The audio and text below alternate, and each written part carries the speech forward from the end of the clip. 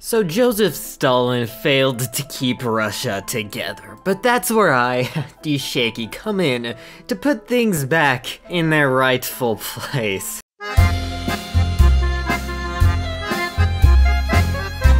So today we play as Omsk, a small Russian state. In real life, I don't think they were ever really up to much. I, I, don't, I don't really know. But today we will claim much more than just Omsk. I don't even really know what's going on here, honestly. Like, all I know is that we need to unify this place somehow. Uh, let's go with the last days of Comrade Karbyshev. While we're doing that, we can do some research. We'll need some good weapons if we're ever gonna win. At least some good infantry divisions. I don't know, there's a lot of complicated stuff in this mod, so I'll just focus on making some good regular infantry. I don't even know what artillery. Well, we'll just use the most normal artillery. Looking around, we have a lot of small, other random states. We're all about even, I would say. But yeah, if you look far enough to the west, though, you have the dreaded Unity Pact and the Triumvirate, and to the east, we have the Co-Prosperity Sphere. Terrible, and no power to counter them anymore. If we could restore that Russia. Oh, we only have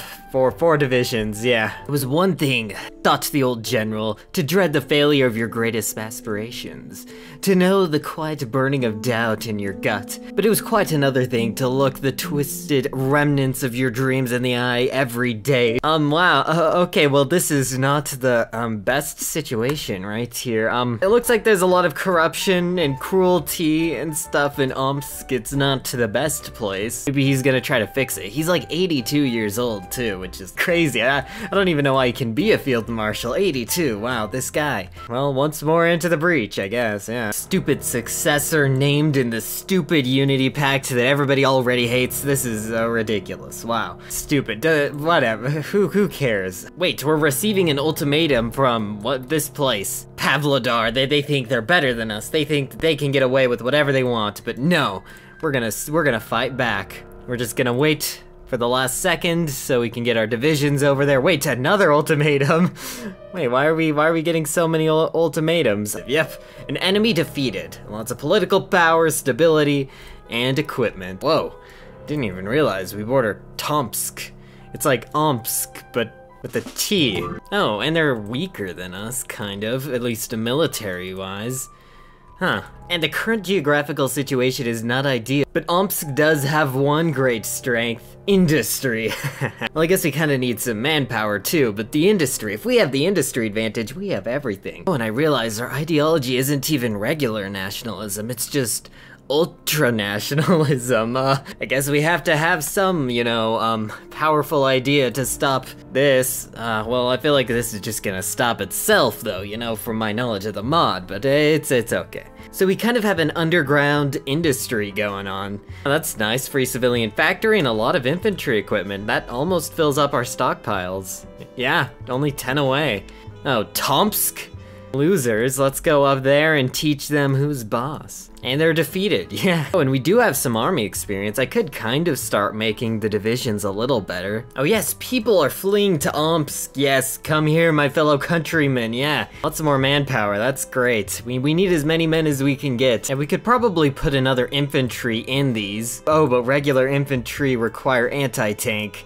Okay, we'll put a light infantry in there. Wow, and it looks like he has a nice little speech on his birthday where he's like, don't be loyal to your superiors, but the Black League itself. Um, okay, well, this is definitely something interesting, the Black League. Hmm, I guess we'll just continue. We're almost to falling snow, so the end draws near. I'll end the death of Karbyshev. I guess now our good old friend Yazov is the leader, the one general guy. Is he now like a field marshal or something? Yeah, he's a field marshal. Wow, interesting. Hmm. Guess the leader just becomes a field marshal. But yeah, no new focus tree yet, so I guess we'll just chill for a while. I, I don't know. The sun went down and snow fell. First in a gentle dusting, then as a thick, heavy blanket. The cool breeze became a frigid gale. Still, Yazov sat, waiting, his fingers collapsed together, breathing with every shiver and shock. An aide, braving through the harsh weather, came beside him. Sir, the aide said, it might be time to rest. You will sadden Comrade Karbyshev deeply if he returns. Yazov stood, gathering all his strength to speak amid the din of the storm. Yazov spoke in a weak and broken voice. Yes, I will rest now. Thank you, comrade. Okay, cool. I don't know, Yazov, he seems like a nice guy, probably one of the good guys. Kinda crazy, I guess. There's like revolts in some of our cities. When there are revolts in two of your three cities, um, yeah, not, not, not good. But it's, it's okay for now, um. And we can get another civilian factory, which will be nice. I don't know if I'll use it to trade for stuff, because even if we have the right materials, we have minus 62% factory output, which really ruins everything. Because even with three factories on artillery, we're only making 4.33 a month. Actually, we have a negative 147% construction speed modifier, which means we can't use factories to construct anything, so I guess we're just forced to use them for trade. It looks like some of the people in our cabinet are on like weird trials. Um, he was obviously doing something bad for the state. Yeah, I don't even care if he was committing a crime. That that's a crime in of itself, destroying the economy like that. Yeah, the new guy is way better. We're gonna be producing way more stuff now. Wait, why is Poland over here? That doesn't make any sense. Did they like flee Poland and set up their new government here? Nowa Polska is probably like new Poland, I, I would assume. I'm deploying more divisions. Maybe we can defend against these guys. They've raided us twice and won both times. Yeah, and we're gonna easily win now. It must have just been they must have had five and we had four or something, yeah. And we have two factories that I guess, I don't even know, what do we do with them? We can't use them to build things, and we already have all this we could ever want. Oh yeah, and the Unity Pact is gone, and the Triumvirate, I always hated those guys. Um, this is great, yeah, Germany's in a four-way war between all of the Mustache Man successors. It'll be interesting to see what happens, I guess. And the Luftwaffe sadness demonetizing has ended. Wow, uh, I think that means we can actually build stuff now. Almost. Oh, we're we're 2% away from being able to build stuff.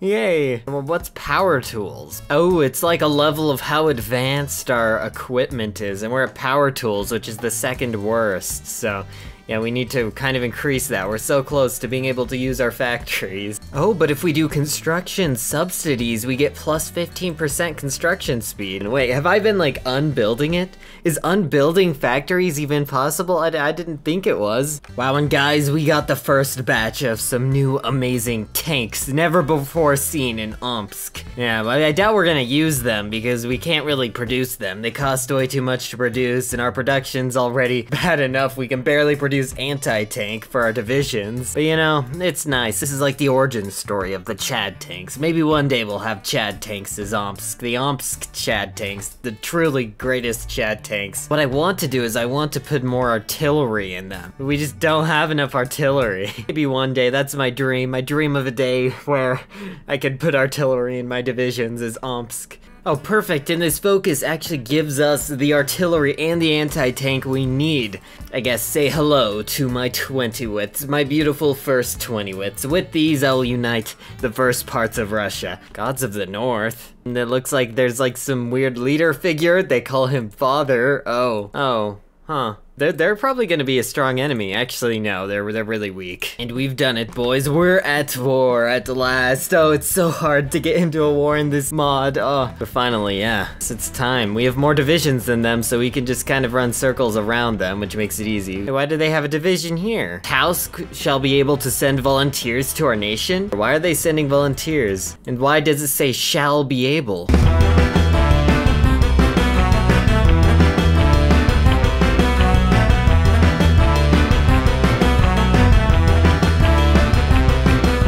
Wait, and we won! Yes, our name is bigger. The weak country to the south of us is starting to get kind of big, though. That's it's a little scary there. Oh, and we apparently have also captured Lenin's body. It's kind of confusing why, but yeah, I guess we can just leave him be, yeah. We do have decisions to core stuff that cost political power, but I'm having political power issues right now. Losing political power whenever I'm doing a focus, so, you know, I have to try to save any that I can get. Okay, and into the north, these guys somehow somehow managed to get a couple more divisions, so now it's more fair, but I think we should win still.